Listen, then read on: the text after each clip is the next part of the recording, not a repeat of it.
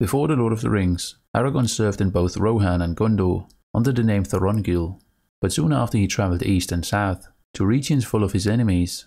And this begs the question, why? Why did Aragorn travel to the east and south before the Lord of the Rings?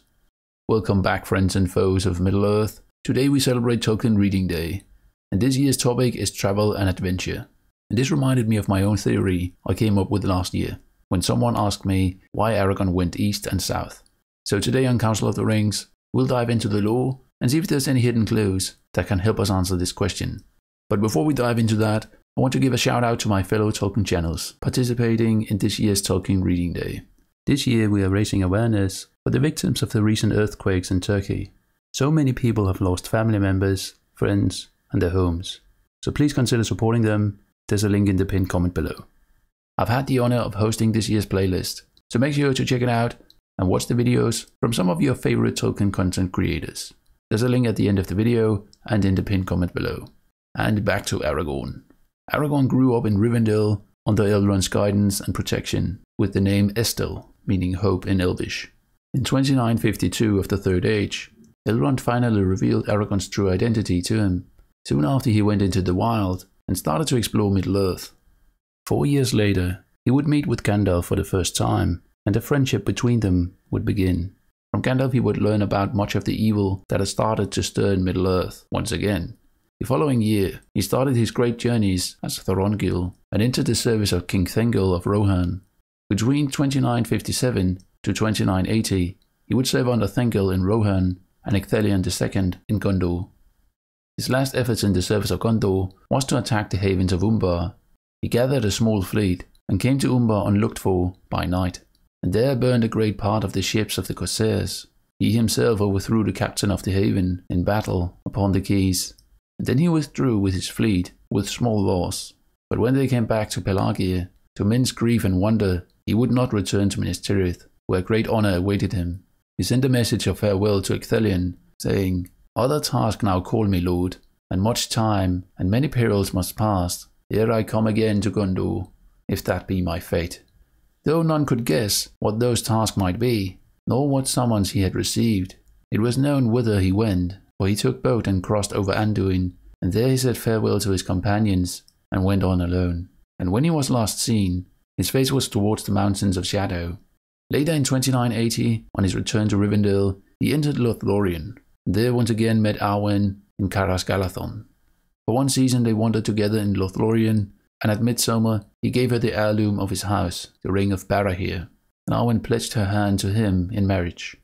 Elrond gave his foster son permission to marry his daughter on the condition that he must first become king of both Gondor and Arnor, for only a king would be worthy of Arwen's hand.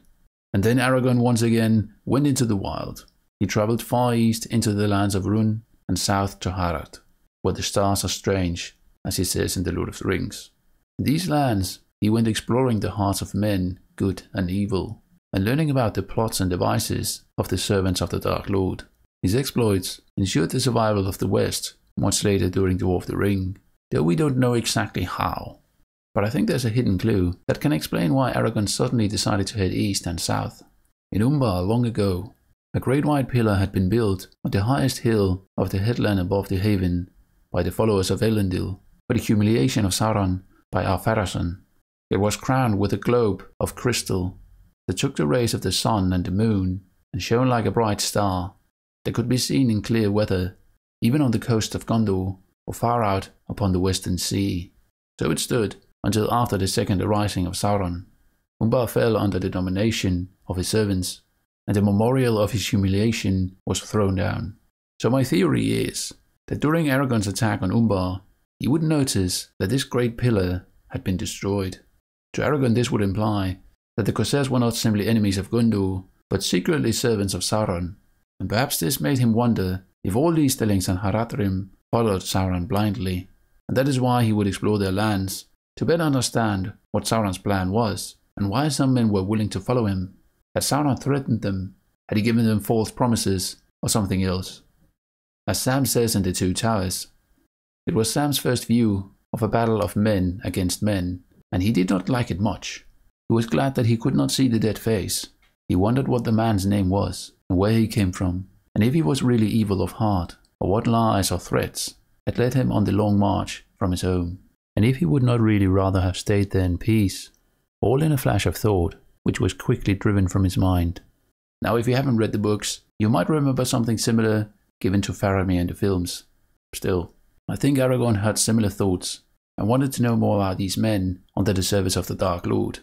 In one version of the Blue Wizard story, it's also said that efforts in the east and south prevented Sauron from total victory, and likewise, as mentioned, Aragorn's efforts are said to have done the same, though perhaps to a lesser extent.